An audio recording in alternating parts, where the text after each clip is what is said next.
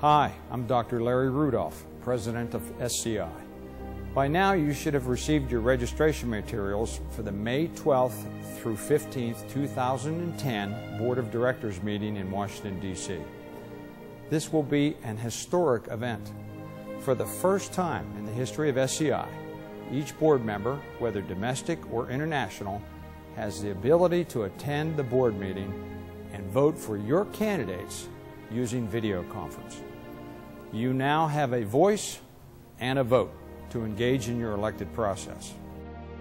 As your president, I encourage you to attend the board meeting and particularly the full board meeting on Saturday, May 15th.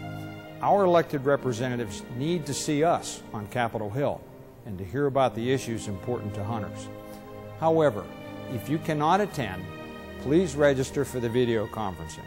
You should have already received your registration materials for attending or registering for video conference. If you have not received the materials for registration, contact Flossie Federico at the numbers listed below. You may fax your completed registration to the Tucson office or sign the registration, scan the form, and email it to the Tucson office. If you have any questions at all, please contact Flossie Federico. She will assist and provide you with all the information you need to register.